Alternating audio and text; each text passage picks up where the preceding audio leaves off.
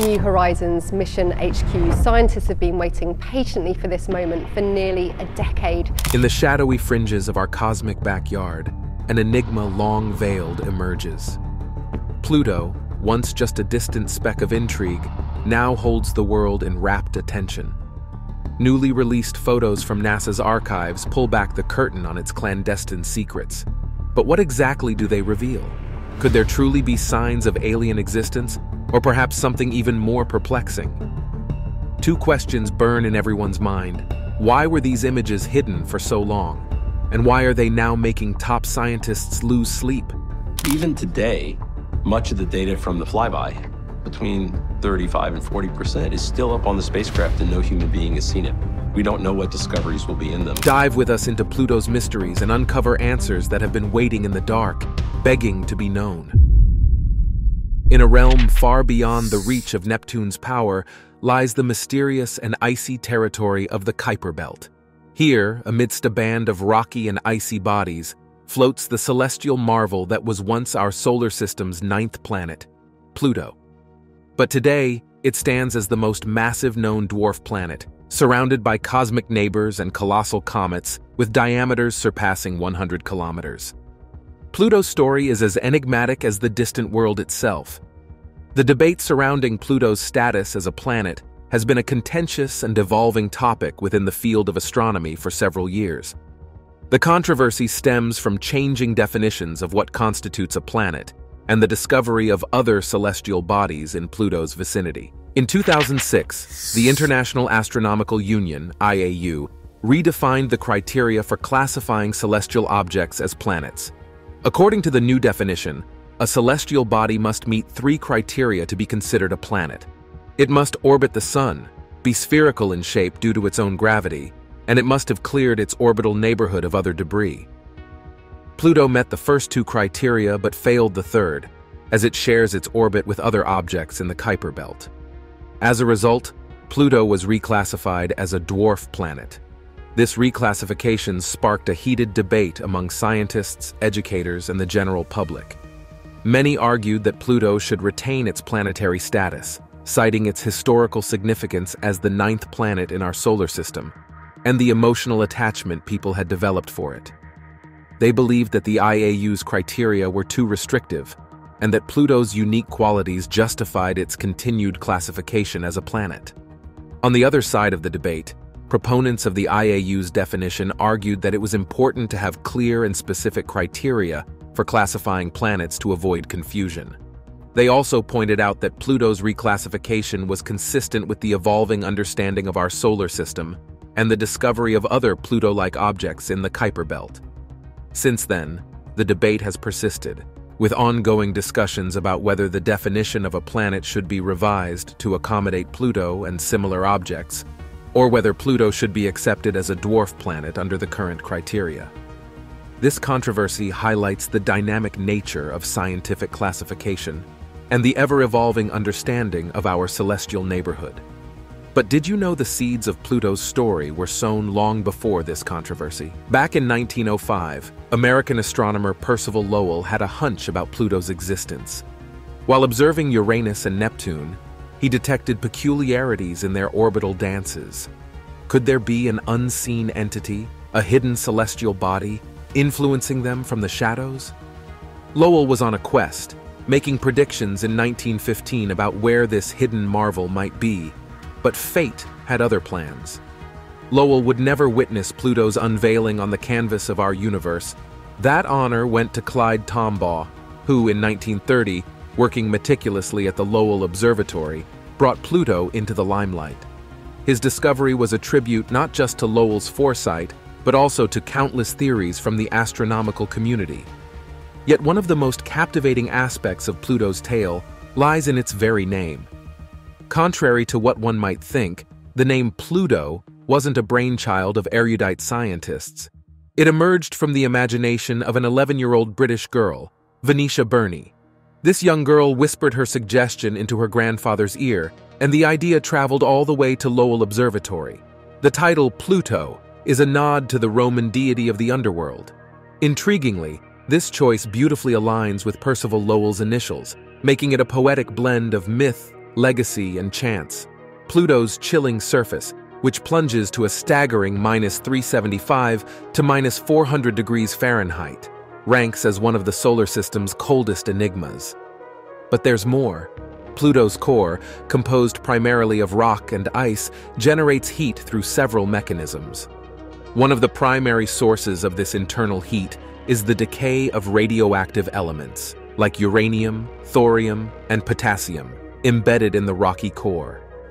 As these isotopes naturally decay, they release energy in the form of heat. This radioactive decay has been ongoing since Pluto's formation, providing a steady source of warmth over billions of years. Additionally, the phase transitions within the ice can also produce heat. As substances transition from one phase to another, for instance from a solid to a liquid, latent heat is either absorbed or released. On Pluto, the slow crystallization of certain ices or the freezing of subsurface reservoirs of liquid can lead to the release of latent heat. This adds to the heat generated from radioactive decay, contributing to the overall warmth of Pluto's interior. Gravitational energy is another interesting factor worth considering.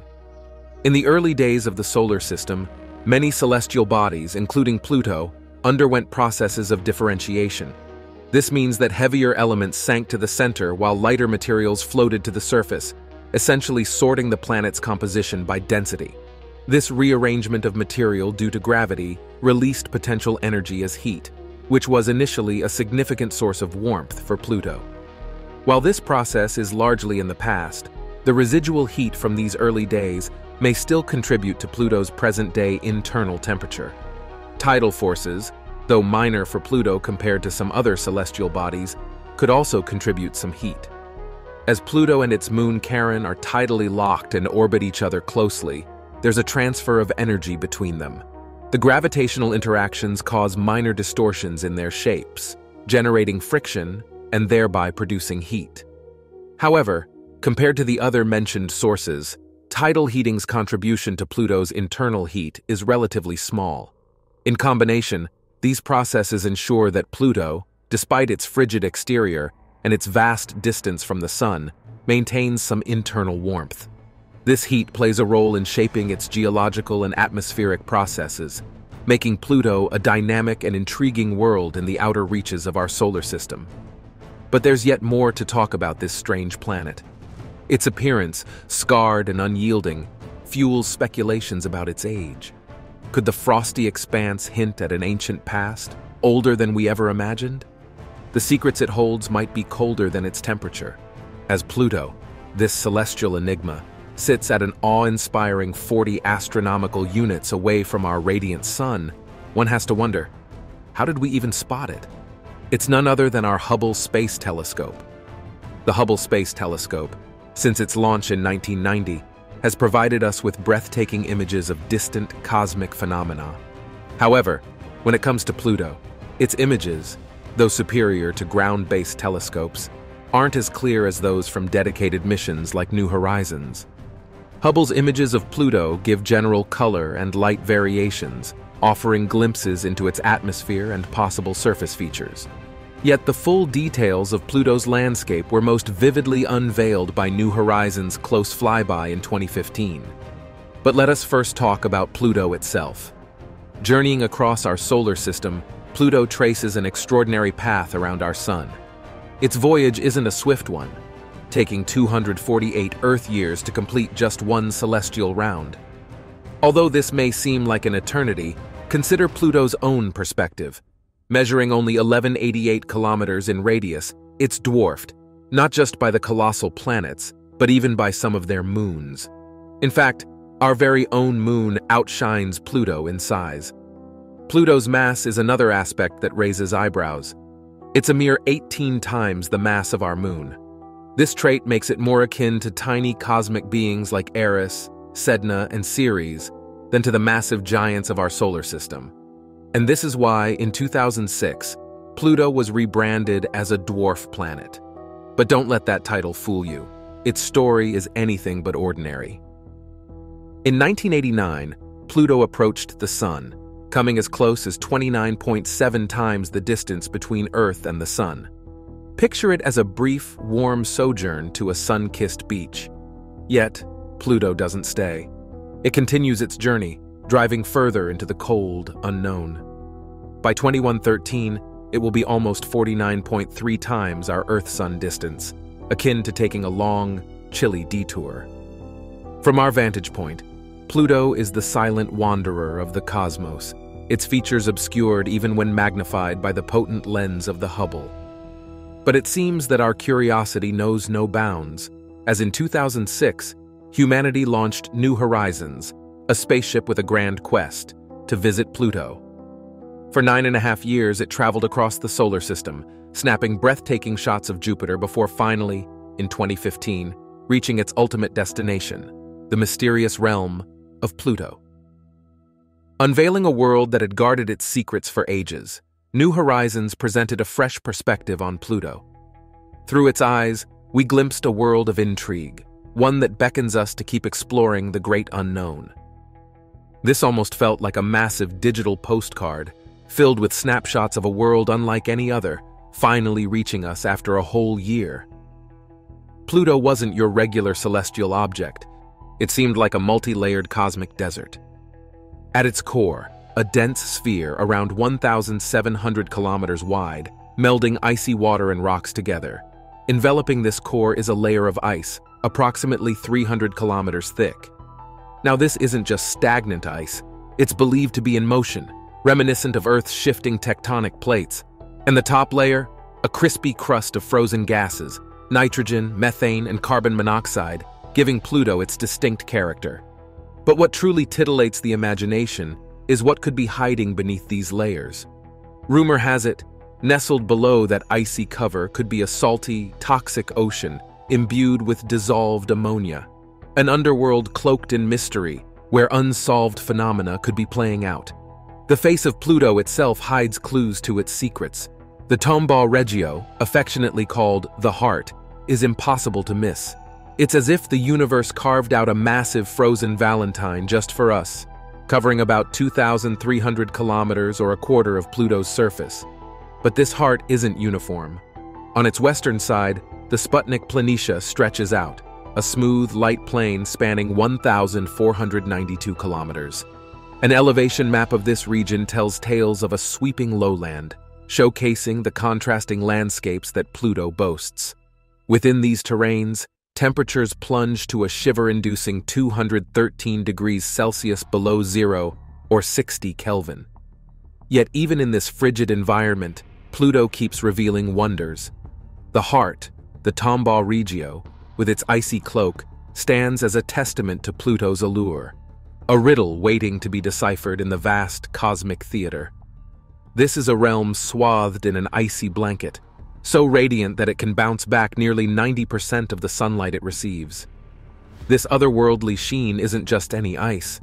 It's a lustrous mix of frozen nitrogen, carbon monoxide, and solid methane. Like a stage lit up for a grand performance, this shimmering landscape glows with a ghostly allure, making Pluto seem like a realm plucked from legends. Now, draw your gaze to the heart-shaped region known as Tombaugh Regio. This isn't merely an icy wonder. Its surface is almost free from craters, hinting at its young age in the geological timeline. Whispered among astronomers is a tale that around 100 million years ago, Pluto suffered a massive collision with another celestial behemoth. The aftermath? A gigantic crater that would eventually cradle Pluto's enigmatic inner ocean. But it seems that nature had another plan. This ocean quickly froze, giving birth to the icy plains that stretch across Tombaugh Regio. If one could walk upon this frozen frontier, they'd find vast, flat expanses, akin to enormous icy pancakes, spanning 20 to 30 kilometers. Along their fringes, gentle bumps and hollows dance, echoing the patterns water makes when it boils. It's as if the land itself narrates Pluto's chilly past, letting us leaf through its ancient tales one icy page after another. But Tombaugh Regio isn't just a land of icy plains. Enveloping this region are majestic mountain ranges that add to its mystery. To the west, the Hillary Montes reach for the skies, standing tall at three and a half kilometers. Travel south, and the Tenzing Montes make their presence felt, boasting peaks that rise a staggering six kilometers above Pluto's surface. Looking for something even more bewildering? These towering giants, despite their rocky demeanor, are chiefly made of water ice, hardened like stone by Pluto's frosty embrace. Journeying further, an intriguing basin beckons, embraced by mammoth ridges of both ice and rock. This peculiar site has stories of its own. It whispers rumors of an ancient cryovolcano, with the encircling rock narrating tales of frozen eruptions from epochs gone by. Distinct from the radiant Sputnik Planitia, Tombaugh Regio presents a tableau reminiscent of Earth's shifting landscapes that have transformed through millennia. Journeying further eastward along Pluto's belt, the observer is met with a mesmerizing display, the maculas. These immense dark patches, spanning hundreds of kilometers, are reminiscent of mythical tales. Each macula boasts a name inspired by dark legends from various cultures. Balrog, for instance, echoes tales from realms shrouded in obscurity. Together, these darkened patches forge an impressive structure, the brass knuckles, embracing Pluto's midriff. They're interspersed with jagged mountain ranges and deep ravines, some of which stretch for unimaginable distances. Of all these shadowy patches, the Cthulhu macula stands out, demanding one's attention. Stretching from Tombaugh Regio this expansive dark area rivals any other on Pluto, with its impressive 3,000 kilometer expanse. It's almost like a dark canvas, absorbing much of the sunlight that graces it, particularly when juxtaposed against the glowing Sputnik Planitia. What makes these maculas so dark? Some believe it's the abundance of tholins, coupled with a storied history marked by impacts from space. The Cthulhu macula isn't just vast, it's diverse. The west is a sea of waves while its center is placid, almost serene. Venture east, and you'll find rugged mountains and deep craters punctuating its surface. But Pluto's mysteries don't end here. Venturing towards the north, the Lowell Regio sprawls out, a valley that holds Pluto's north pole. One might expect this region to be bathed in shadow, but instead, it enjoys an unexpected luminance. Thanks to Pluto's unique tilt, its north pole greets the sun head-on, basking in its warm embrace. Imagine Pluto. As it moves farther from the sun, its atmosphere thickens, tripling in density over three decades. The sun's gentle rays cause nitrogen ice on Pluto to evaporate. This vapor drifts poleward, adding to Pluto's atmospheric richness. Yet it's not just Pluto's distance or atmosphere that intrigues. The dwarf planet displays a distinctive orbital dance. Unlike many in our solar system, Pluto's orbit tilts noticeably. It performs cyclic oscillations around a fixed point, a dance guided by its significant moon, Charon. Sounding humorously like Charon, it isn't actually anything even remotely close. Speaking of Charon, this moon isn't just any satellite. With a mass of 1.52 times 10 to the power of 21 kilograms, it holds over 11% of Pluto's mass. This isn't a moon merely circling a planet. Instead, Pluto and Charon spin around a shared center of mass, their orbits tightly bound by gravity. This unique bond ensures that they always show the same face to each other, locked in an eternal gaze. But there's a stark difference. While Pluto has various terrains, Charon presents a darker face, sprinkled with water ice and specks of methane and nitrogen. Among all of Pluto's moons, Charon stands out as the largest, overshadowing others like Nix and Hydra. Smaller ones like Kerberos and Styx add to the diverse cosmic family, each predominantly made of water ice.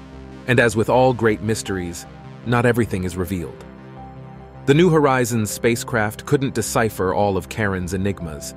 However, the visible landscapes it captured hint at the countless wonders waiting to be explored. To the south, there lies the vast Vulcan Planum, stretching almost as wide as an average European nation, this massive region covers an impressive 400,000 square kilometers. Within this expansive realm stands Karen Kubrick Mons. Picture a mountain, 40 kilometers wide, reaching into the sky up to a staggering height of 4,000 meters. This majestic peak is surrounded by a deep, wide moat that plunges two kilometers down. Many whisper that Kubrick Mons was born from a cryovolcano, its birth possibly tied to underground reservoirs sinking the land around it. Moving north, The ground shifts and changes, introducing the rugged Oz Terra. Here, the Earth is scarred with countless craters and separated from Vulcan Planum by immense ledges and deep splits. The land dramatically rises and falls, changing by nearly a kilometer. Among the many wonders here, the Serenity Chasma steals the spotlight. It's a great trench, 200 kilometers long with its width dancing between 40 and 50 kilometers. If you dare look down, the depths go down a mind-boggling 7 kilometers, hidden in dark, enigmatic shadows. Further into the north, closer to Charon's pole, you'll find the mysterious Mordor Macula. This massive feature stretches out, covering a diameter of 475 kilometers. What caused this? Scientists are still debating. One idea is that gases from Pluto got trapped by Charon's gravity, settling at its poles. Over time, these gases might have turned into tholins, dark compounds that built up on Charon's icy face. Thank you for being with us. Make sure to watch the next video on your screen. It's fantastic.